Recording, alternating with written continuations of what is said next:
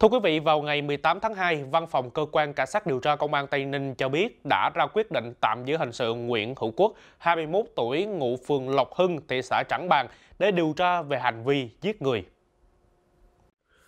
Theo hồ sơ công an, lúc 14 giờ ngày 17 tháng 2, bà NTC la mắng con trai Nguyễn Hữu Quốc về việc thường xuyên sử dụng trái phép ma túy.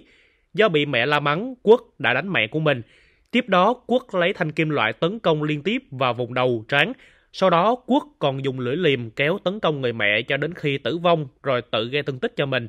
Một giờ sau, cha của Quốc là ông NTT đi làm về phát hiện sự việc nên báo cơ quan công an. Tại cơ quan điều tra, Quốc đã thừa nhận hành vi sát hại mẹ ruột và cơ quan cảnh sát điều tra công an tỉnh Tây Ninh đang tiếp tục điều tra làm rõ.